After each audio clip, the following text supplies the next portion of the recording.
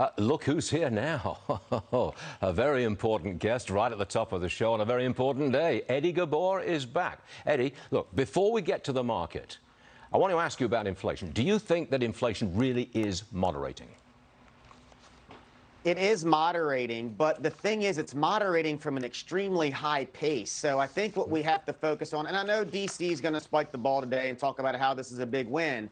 But Main Street doesn't think 8.5 or 8.1 or even if it's 7.1 is a win. We are in a high inflationary environment. It's very sticky and it's going to stay that way for a while. So, regardless of what the Fed does, the damage is done and growth is decelerating right now. And we now are going to be seeing CPI slowly come down. So, traditionally speaking, when that happens, we are heading potentially into a deflationary environment.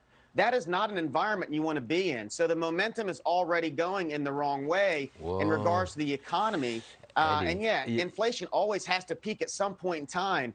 Uh, but there's a lot of people right now that have never been in an environment like this, and it's not going to correct itself over a month or two. You know not you're even in, close. You know you're in deep water, Eddie.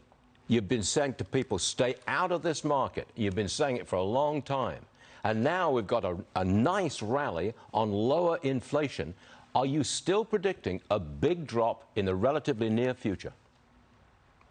I am, Stuart. And look, we're not in hot water because of when we started de risking. You know, I was on your show December the 8th of yep. last year when yep. we started de risking. The markets are still down 20% from those peaks. So, you know, I need to see conviction that growth is not slowing and that Main Street is not hurting because that momentum, again, we're in the early innings of this recession that we're going to go in. I expect GDP to continue to get worse over the next two quarters.